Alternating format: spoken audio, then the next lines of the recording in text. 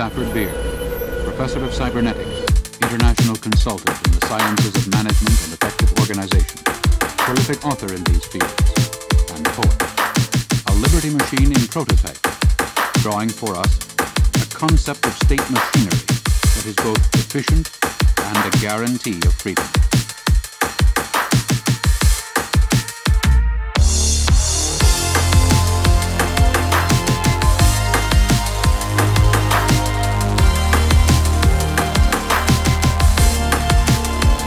Foreground, Betty Jennings is programming the master program, which combines the subroutines set up on the local unit into a single master routine.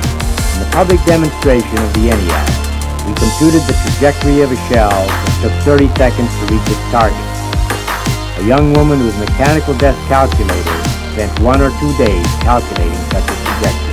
The ENIAC computed the trajectory in only 20 seconds, faster than the shell itself traveled. This convinced the colonels and generals present that electronic computers were important.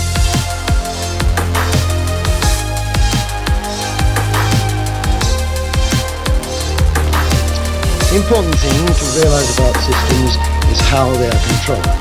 And we must get rid of any notion straight away that control is something imposed on the system from outside. It has to be built into it.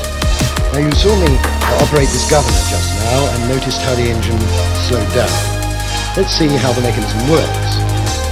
Suppose the engine is racing, then the governor flies open like that. You see it lifting here, transmitting the message along here, lifting that cam up here, and then shutting off a valve there. That is built into the system. It's called feedback, and feedback is ubiquitous in control systems.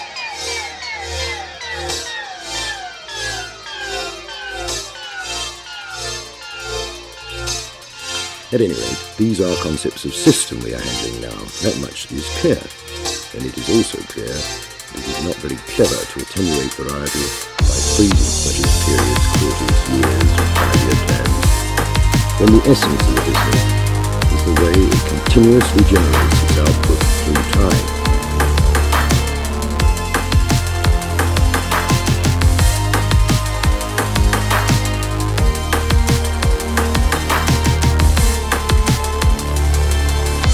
then we can see what our potential model of the whole economy looks like.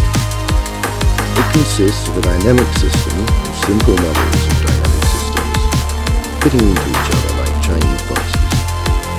Each box is called a level of recursion, because what we are doing is to reduplicate a cybernetic system of regulation recursively